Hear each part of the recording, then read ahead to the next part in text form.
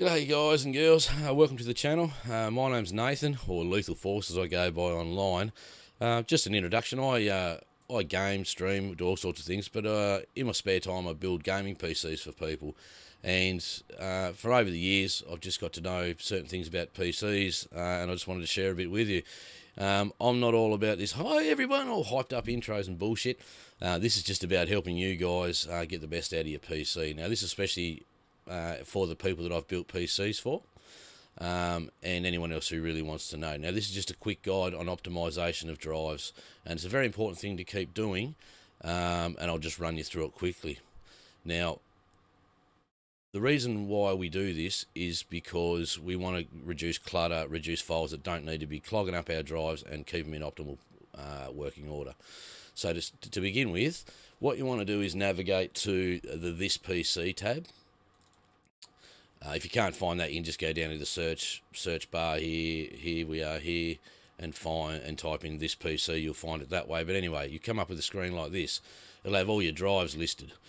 So what you want to do is, is generally it'll work. It'll do the most on the op operating system drive. So whichever drive here's got the operating system, but you can do this for all your drives. Right click on that. Go down to the properties. Properties there now, once this has come up, you've got all these sorts of options up the top here, but at the moment we just leave it on general. Uh, you'll see here uh, disk cleanup. Now you can also compress this drive to save space. That's usually unchecked, but you can keep it on to compress the files to make them smaller, obviously. I'll just get rid of my head for a sec because it's uh, wigging out the camera. Now you want to click on disk cleanup. Done. Now I've cleaned my files late, lately, so you don't need I, I won't be showing any great amounts of uh, data that needs to be getting rid of. But what you want to do is you want to check the boxes down the left hand side. I have them all checked. Why not? Uh, and then it'll give you a rating up here up the top of how many megabytes or gigabytes that it will clean up for you. So mine's only got 13.6 megabyte at the moment, but typically, uh, especially after a Windows update, you might have four, five, six gig in there that you can uh, get back of hard drive space. Right, so click the boxes down the left hand side, click clean up my system files. Right, so it runs a scan.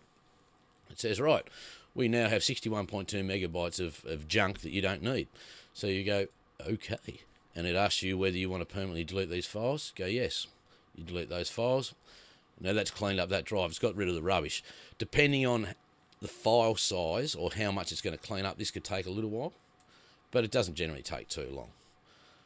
Now, you can set that to do oh, pardon me. Uh, oh, sorry, I'm getting a bit ahead of myself here. Right, so we can do that for each drive. What you can also do is if, you look up the top here, you've got the Tools tab. Now, this is pretty, uh, pretty handy tab because what one of two things you can do is you can check your drive for errors. So, for instance, I'll just check this drive.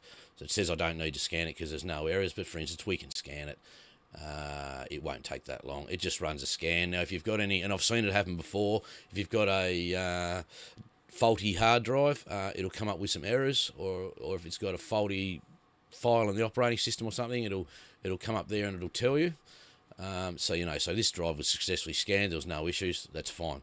We weren't really interested in that bit right at the moment. What we're interested in is the optimize and defrag the drives. So we can click that. Now, what defragmentation is is especially on a um, on a uh, like a mechanical drive disk when it's got a CD in it. Now, when you download something or when you install a file, it will install it fragmented. So what that means is the disk will be spinning and the laser will be inputting the data and it'll input a little bit here, a little bit there, a little bit somewhere else. It won't all be uniform and it won't be together.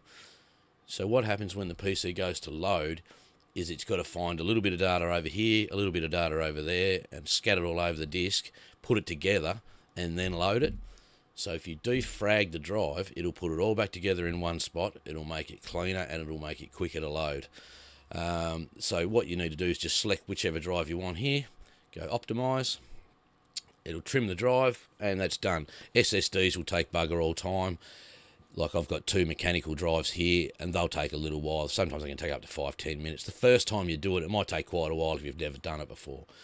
Now you can schedule it to do it itself uh, the computer, but I don't generally have my computer left on, so I usually miss when it's going to do it. But you can set it up in here, um, to do it automatically for you. But I just make it as a rule. I do it sort of once a week or once a fortnight.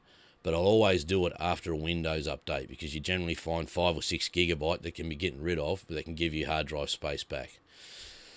Now that's just uh, the first of uh, many tutorials I'm going to do. Uh, so I hope that's helped you guys, but it is an important one to consider, and it's an important one to keep an eye on. It'll certainly free up a lot of hard drive space that uh, that's not, you know, it's being used for nothing, and you can always you can use it for a game or a file or, or something that's relevant uh, instead of it just going full of shit. So uh, any questions, uh, just put them in the comments down below, and I can answer them for you.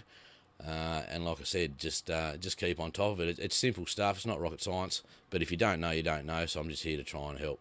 Um, if the video's helped you, chuck us for chuck us a like. Uh, even subscribe to the channel for more videos like this that will be coming out shortly.